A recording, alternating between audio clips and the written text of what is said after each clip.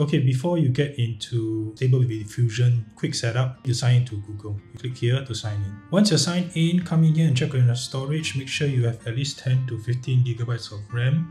And now you're able to start setting up Automatic 11 to launch Stable Diffusion on Google Colab. Copy the link in the description below. You'll come to this page. All you have to do is to click on all these arrow buttons one by one. Click on the first button, click on Run Anyway.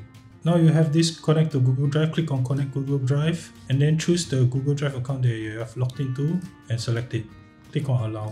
Click on the next arrow button once this connect to Google Drive has a green tick. Then go on and click on requirements.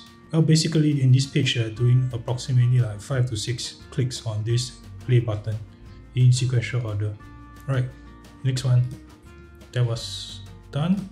Then control net and then now the last one the sixth button which is start stable diffusion. This will take the longest. When you're doing this for the first time, it will take quite some time to load, but uh, subsequent launches will take uh, lesser time because they're downloading, installing Stable Diffusion onto your Google Shared Drive. So subsequent launches will be faster. Roughly takes around, I think, 4 to 5 minutes.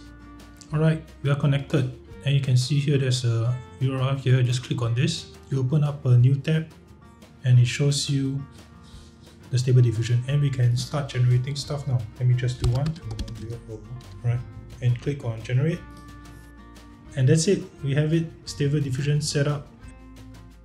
Lastly, when you're done, remember to come back to the Google Colab page, click on this top arrow button here and click on disconnect and delete runtime. Very important because if you do not disconnect, this will keep running and you will keep eating up your compute units. Do this every time you run a session, disconnect and delete runtime. So I'm going to disconnect and delete runtime now. And click on yes. And once there's a reconnect here, it means you've disconnected. To double check, click on manage sessions and make sure you have no active sessions so nothing is running and you won't waste any compute units.